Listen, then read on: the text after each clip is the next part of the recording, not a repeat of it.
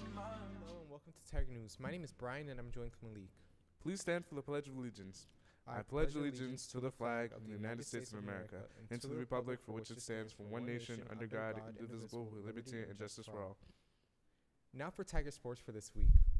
Today, Lynn Tech's track team goes against NDA at 4 p.m. at Innovation. Bus leaves at 2:45 p.m. Tomorrow the softball team plays at Minuteman at 4 p.m. Friday, the volleyball team plays Innovation at 4 p.m. with the bus leaving at 2:45 p.m. Friday the baseball game with Cristo Rey at Lynn Tech has been moved to May 25th at 10 a.m. at Breed. Ugh, Cristo Rey. Friday, varsity softball plays at Cristo Rey starting at 2 p.m. in Lawrence. Saturday the CAC League Championship is at Innovation at 9:30 a.m. We are gonna lose. Saturday, Lynn Tech baseball plays Salem Academy at Lynn Tech starting at 1 p.m. Has been canceled officially. Now it's time for the senior activities. Saturday, May 18th, Philadelphia Union at New England Revolutions, $35 per person. Monday, May 20th, there's a field trip to Kimball Farms. It's 35 per person.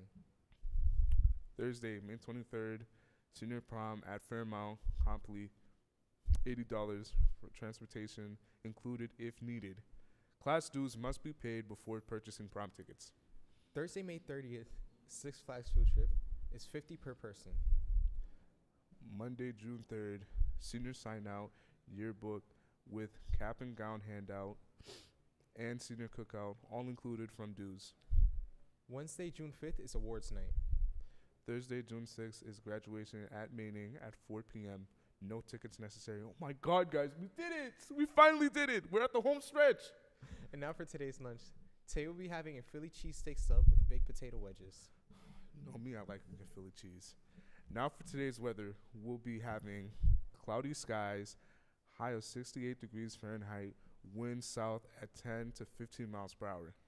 Tonight it'll be cloudy during the evening, a few showers developing late, a low of 54 degrees, wind southeast at 5 to 10 miles per hour, a chance of rain of 30%.